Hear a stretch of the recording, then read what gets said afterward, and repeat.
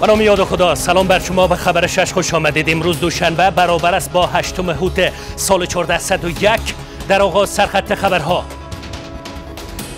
واگذاری سفارت افغانستان در تهران به حکومت سرپرست. سفارت افغانستان در تهران به گونه رسمی به دیپلمات های امارت اسلامی واگذار شد.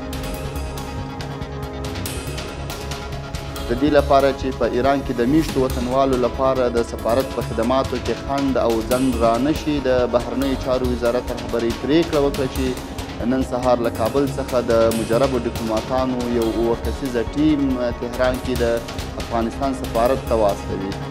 کشته شدن دو عضو گروه داعش در عملیات نیروهای امارت اسلامی در کابل. امارت اسلامی میگوید که در نتیجه عملیات بر یک مخفیگاه داعش در منطقه خیرخانه دو تن از اعضای این گروه کشته و یک تن دیگر بازداشت شده است. د دغو عملیاتو په پایله کې دوه تنه داعشان ووژل سول او یو ژوندی ونیول سو. دغه راز یو شمېر وسلې او مهمات هم د اسلامي امارت ځواکونو لاسته ورغلل. کمرنگ شدن بازار صنعت ابریشم در هرات. ابریشم بافی در هرات نسبت به گذشته از رونق افتاده و پارچه های ابریشمی مشتریان خود را از دست داده است. از این کیت 500 600 نفر روزی می‌خورد این پاکستان آورده جنس مثلا میده به 800 ما این پتیه جور می‌کنیم تیار می‌کنیم بالا میفته به 2000 2200 2200 بی می‌کنه نمی‌خره. تلاش ها برای مبدل شدن پایگاه های نظامی به زون های اقتصادی و نگرانی شهروندان ایران از بی ثباتی اقتصادی در این کشور. مشروع خبرهای ساعت شش از طلو و طلو نیوز با من سبقت سپر سفارت افغانستان در تهران به گونه رسمی به دیپلمات های امارت اسلامی واگذار شد. وزارت خارجه امارت اسلامی می‌گوید که به روز دوشنبه هفت دیپلمات به هدف جلوگیری از تاخیر در ارائه خدمات خدمات سفارت به تهران فرستاده شدند به گفته این وزارت واگذاری سفارت افغانستان در تهران به حکومت سرپرست یک گام مهم در بهبود روابط افغانستان با ایران است. همزمان با این امور کنسولی استانبول در ترکیه نیز به نماینده امارت اسلامی سپرده شد. وزارت امور خارجه می‌گوید که فضل محمد حقانی با گروهی از دیپلماتان امارت اسلامی به گونه رسمی مسئولیت سفارت افغانستان در تهران را بر عهده گرفتند. به گفته معاون سخنگوی وزارت خارجه به روز دوشنبه چندین دیپلمات حکومت سرپرست برای انجام مأموریت تازه به تهران فرستاده شدند. د دې لپاره چې په ایران کې د میشتو وطنوالو لپاره د سفارت په خدماتو کې خنډ او ځنډ را نشي د بهرنیو چارو وزارت رهبرۍ پریکړه وکړه چې نن سهار له کابل څخه د مجربو ډیپلوماتانو یو اووه کسیزه ټیم تهران کې د افغانستان سفارت ته واستوي وزارت امور خارجه واگذاری سفارت به حکومت سرپرست را گام مهم در بهبود روابط میان کابل و تهران می‌داند. وزارت خارجه ایران نیز در خبرنامه تحویل دهی سفارت افغانستان در این کشور را موضوع داخلی افغانستان می‌داند و میافزاید که وزارت خارجه ایران در این باره دخالتی ندارد. جمهوری اسلامی ایران اوضاع را متناسب با تحولات سیاسی و سیاست های منطقه‌ای تحت نظارت دارد.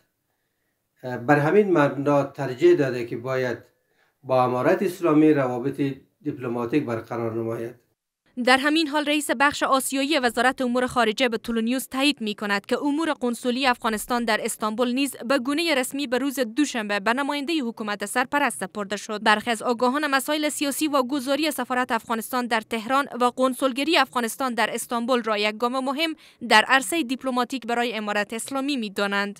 واگذاری سفارتخانه ها و نمایندگی های دیپلماتیک به طالبان بدون تردید طالبان را در موقعیت برتر قرار می دهد و کفه ترازوی سیاسی را به نفع اونها سنگین می کند ایران در تلاش تعامل بیشتر با افغانستان است. در صورت عدم پذیرش سفیر یا نماینده طالبان در سفارت افغانستان این تعامل هم به کندی مواجه میشه. با گذشت بیش از یک نیم سال امارت اسلامی از سوی هیچ کشوری به رسمیت شناخته نشده اما سفارت های افغانستان در روسیه، چین، پاکستان و ایران به دیپلمات های امارت اسلامی سپرده شده اند. امارت اسلامی می‌گوید که در نتیجه عملیات بر یک مخفیگاه داعش در منطقه خیرخانه دو تن از اعضای این گروه کشته و یک تن دیگر بازداشت شده است. معاون سخنگوی امارت اسلامی میافزاید که این گروه برنامه تخریبی داشتند و پیش از رسیدن به هدف نابود شدند همزمان برخی از باشندگان ناحیه هفدهم می‌گویند که در جریان عملیات نیروهای امارت اسلامی به خانه های آنان نیز زیانهای مالی وارد شده است. شب گذشته شهرک زاکرین در ناحیه هفدهم در کوتل خیرخانه کابل گواه عملیات نظامی نیروهای امارت اسلامی بود. عملیات در این خانه انجام شده و ساعتها درگیری در همین جا ادامه داشت. امارت اسلامی می‌گوید که در نتیجه این عملیات دو عضو گروه داعش کشته شدند و یک تن دیگر آنان بازداشت شده است. تیر ماښام د اسلامي امارت ځواکونو د کابل ښار خیرخانې اړوند شهرک ذاکرین سیمه کې د داعشانو پر یو پټنځای عملیات ترسره کړل. د دغو عملیاتو په پایله کې دوه تنه داعشان ووژل سول او یو ژوندی ونیول سو. دغه راز یو شمیر وسلې او مهمات هم د اسلامي امارت ځواکونو لاسته ورغلل. در همین حال شماری از باشندگان و وکیل گذر این منطقه میگویند که این افراد از هشت ماه به این سو این خانه را کرایه گرفته بودند و زندگی می کردند. آنان میافزایند که در عملیات نیروهای امارت اسلامی خسارات مالی نیز به باشندگان محل رسیده است. دغه خلکو تقریبا اته میاشتې کېږي چې هلته قرارداد کړی و دغه کور په کرایه د کور مالک ورکړی و چې حتی موږ په جریان کې نه وو اچولي. نو دغه یو کس په دو په زارانج کې تو راته چې زه غریب کاری کوم په مارکیټ کې زارانج کې کار کوم. مالی آسیب رسید جانی نه فضل خدا کسی یوگار نشده باز ما وظیفه بودم از طرف وظیفه آمدم که اینجا خانه مسره است از سوی دیگر برخی از آگاهان نظامی بر مسلکی بودن عملیات ها تاکید می‌ورزند. به خاطر ماهر کردن و جلوگیری و گسترش این گروه به یک هماهنگی و اجماع منطقوی و فرامنطقوی نیاز مبرم است. پیش از این نیروهای امارت اسلامی بر یک مخفیگاه داعش در منطقه کارتنو شهر کابل نیز عملیات نظامی را انجام دادند که در نتیجه آن سه عضو داعش کشته شدند و یک تن دیگر آنان زخمی شد. در پی واژگون شدن یک کشتی چوبی در دریای ایتالیا 60 پناهجو جان باختن از سوشتت پرس گزارش داده است که بیشتر این پناهجویان شهروندان افغانستان، پاکستان و ایران هستند که کشتی آنان پس از برخورد با صخره در دریای کروتون ایتالیا واژگون شده است. شمار سرنشینان این کشتی 250 تن گزارش شده است که بسیاری از سرنشینان آن جان سالم به در بردند. از سوی هم شماری از شهروندان کشور می‌گویند که به علت بیکاری و دست مزد اندک مجبور به ترک کشور می‌شوند. به نفش بینش جزئیات می‌دهد. به نقل از رسانه ایتالیایی انسا یک کشتی چوبی با 250 سرنشین که حامل پناهجویان افغانستان، ایران و پاکستان بود به روز یکشنبه در نتیجه برخورد با صخره در هوای طوفانی در ایتالیا واژگون شد. اسوشیتد پرس گزارش داده است که در این رویداد 60 پناهجو جان باختند و 80 تن جان سالم به در بردند و 20 تن دیگر به شفاخانه انتقال یافتند. پلیس ایتالیا در پیوند به این رویداد یک قاچاقبر را بازداشت کرده است و سه قاچاقبر دیگر که همه ترک اند متواری هستند. نیروهای گشت ساحلی که به محل رویداد رسیدند یک قایق چوبی به طول تقریبا سی متر را دیدند که به طور کامل واژگون شده و تعداد زیادی از مهاجران در آب غرق شده اند بلا فاصله این نیروها تلاش کردند تا جان افراد را نجات دهند و متاسفانه چندین جسد را نیز پیدا کردند. از سوی هم شماری از شهروندان کشور علت اصلی مهاجرتشان به کشورهای همسایه و اروپایی را بیکاری در کشور می‌خوانند. خانمان دیگه کم, کم اقتصاد شدن. می‌خواستم که برم ایران دیگه یک چیزی پیدا کنم یک خرچی. این دمی خاطر برآمدم از خانه. مردم با بیسر نوشتی زندگی می‌کنن. خودم که هستم یالت سندم سندم در خانه است. لیسانس لیسانس هستم. دیگه اینجا بسیار ناچار شدم. زندگی سرنوشت بسیار سخت شده. دیگه حالا مجبور هستم برم شرکت طرف ایران. برخی از آگاهان امور مهاجرین از حکومت سرپرست می‌خواهند که زمینه کار را به شهروندان کشور فراهم سازد. ډیر شرکتونه په افغانستان کې بند سو ډېرې فابریکې بند سوې مشکلات موږ په وطن کې ډیر لرو. د دغه مشکلاتو د وجې نه افغانان خارج ته سفر کوي. امارت اسلامی افغانستان باید شرط تعلیم تحصیل کار را مهیا بسازند تا آنها ترک وطن را ننمایند. و دیده می شود که در بسیاری از کشورهای همسایه و کشورهای اروپایی افغان ها با مشکلات های زیادی روبرو هستند بر بنیاد آمارهای وزارت داخله ایتالیا در سال 2022 میلادی نزدیک به 150 هزار مهاجر به سواحل ایتالیا رسیدند و شماری از کشتی های حامل پناهجویان نیز غرق شده اند. رئیس یونما در دیدار با رئیس جمهور پیشین کشور درباره بازگشایی مکتب‌های دختران و بازگشت زنان به کار گفتگو کرده است. حامد کرزی در توییترش نوشته است که در این دیدار بر بازگشایی مکتب‌های دختران و اجازه کار بانوان تاکید شده است. امارت اسلامی می‌گوید که بانوان در بخش‌های صحت، پلیس و دیگر بخش‌ها اجازه کار دارند. اسما ساین جزئیات می‌دهد. حامد کرزی رئیس جمهور پیشین کشور با رضوا اتنبایوا رئیس یونما درباره آموزش دختران و بازگشت زنان به کار گفتگو کرده است. رئیس جمهور پیشین کشور در توییت نوشته است که در این دیدار افزون بر دیگر مسائل بر بازگشایی مکتب ها برای دختران و اجازه کار بانوان تاکید شده است اما سخنگوی امارت اسلامی می‌گوید که بانوان در برخی از موارد و ویژه در بخش صحت اجازه فعالیت دارند د کار په اړه باندې دومره ویل شو چې اسلامي په هغه برخو کې اړینې دي هغو ته د ښځو کار ته اجازه ورکړل شوې ده. مثلا د صحت په ټولو هغو برخو کې چې ښځینه اړوند دي هلته ښځینه کار کوي دغسې د معارفو د عالي تحصیلاتو د پلیسو په ځینو ښځینه برخو زندانونو په ځینو ښځینه برخو د پاسپورت و د تداوم این وضعیت میتواند برای حاکمان جدید افغانستان در سطح داخلی سبب اختلافات درونی و دودستگی و در سطح خارجی روابط این کشور را با جامعه جهانی بیشتر از پیش خدشدار ساخته از سوی هم شماره از دختران دانش آموز و دانشجو در آستانه سال تعلیمی تازه از حکومت سرپرست می‌خواهند که در مکتب های متوسط و لیسه و دانشگاه ها را برای دختران باز کند. خواستم از امارت اسلامی است که دروازه های مکاتب دانشگاه ها و آموزشگاه ها را باز کنند تا دختران یک آینده روشنی داشته باشند. دروازه های مکاتب و دانشگاه را برای دختران باز کنند چون هیچ دلیل شرعی برای منع تحصیل دختران وجود نداره. همزمان با این حسن کاظمی قومی سفیر ایران در کابل می‌گوید که با همتای قطریش و رئیس صندوق توسعه این کشور درباره آموزش دانش آموزان افغانستان در ایران به توافقات خوب دست یافته است. ابریشم بافی در هرات نسبت به گذشته از رونق افتاده و پارچه های ابریشمی مشتریان خود را از دست داده است. به گفته ابریشم بافان پارچه های بیکیفیت وارداتی از کشورهای همسایه جای پارچه های ابریشمی داخلی مانند پتوهای زمستانی و دستمال ها را گرفته است. نصیر احمد صالحی از آنجا گزارش می‌دهد. محمد ناصر موسوی از شهربافان کهنکار شهر هرات است.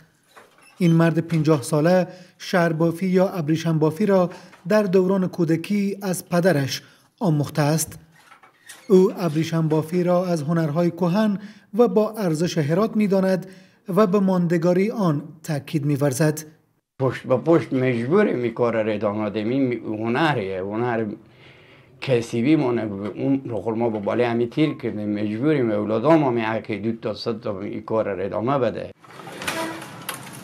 مرتزا یازده سال می شود که اینجا با این دستگاه ابریشم بافی کار می کند. او می گوید در نزدیک به دو سال پسین به علت چالش های اقتصادی در کشور تولیدات ابریشمی بازار فروش ندارد.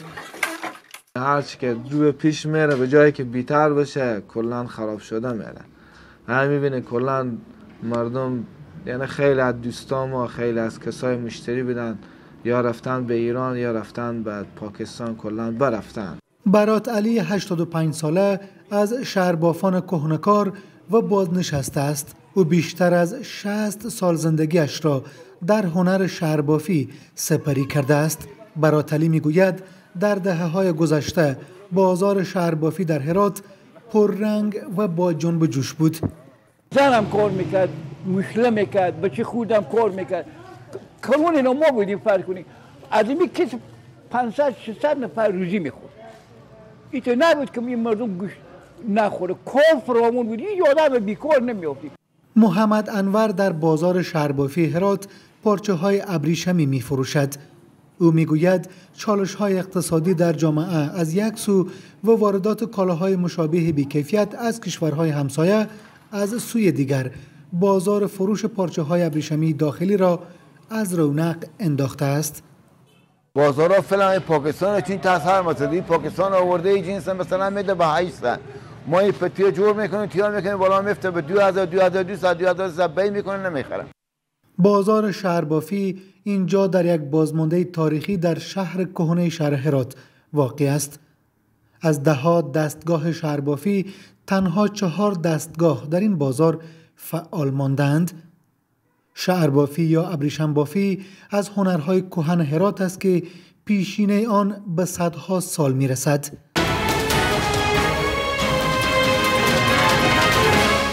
و ادامه خبر شش باز هم خوش آمدید.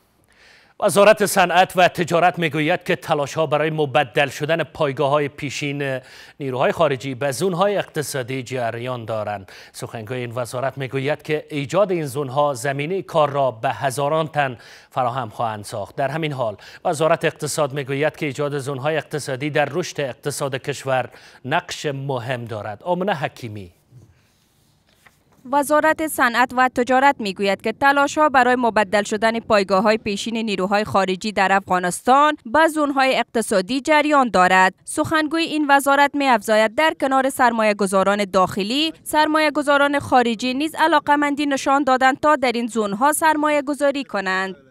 تعداد از خارجی ها هستن که پیشنهاد دادن آمدن با وزارت صنعت تجارت دیدار داشتن و تعداد از افغان های ما هستن اما ما کوشش می‌کنیم تا سرمایه گذاری های بزرگ و گذاف در این مراکز صورت بگیره در همین حال اتاق تجارت و سرمایه گذاری می گوید که ساخت های اقتصادی در رشد داد و ستد افغانستان اثر خوب دارد.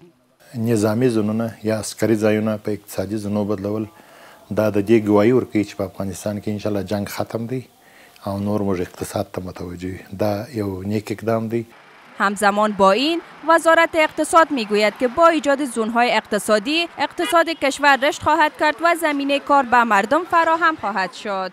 زونهای اقتصادی در ایجاد تحرک اقتصادی رشد و توسعه تجارت و ایجاد اشتغال نقش مهم داره و در نهایت می‌تونه به کاهش فقر منجر شود با توجه به وسط و امکانات تکنیکی در پایگاه های نظامی تبدیل آن به زونهای اقتصادی به نفع کشور است و این کمک می‌کند تا در قسمت سرمایه‌گذاری داخلی و خارجی تسهیلات بیشتر را فراهم کند پیش از این کمیسیون اقتصادی ریاست الوزرا گفته است که در گام نخست کار بر پایگاه های نظامی در کابل و بلخ به گونه آزمایشی آغاز خواهد شد. وزارت مالیه می‌گوید که فرم انتقال میوه تازه و سبزی را لغو کرده است. سخنگوی این وزارت اطمینان می‌دهد سهولت های لازم را در گمرک های کشور به بازارگانان فراهم می‌سازند. در همین حال برخی از بازرگانان می‌گویند لغو این فرم واردات سبزی و میوه تازه را بیشتر می‌سازد و از فاسد شدن آن نیز جلوگیری می‌کند. این بود خبرهای ساعت شش که تقدیمتان شده از همراهتان سپاسگزارم. شب روز بخیر. خدا نگهدار.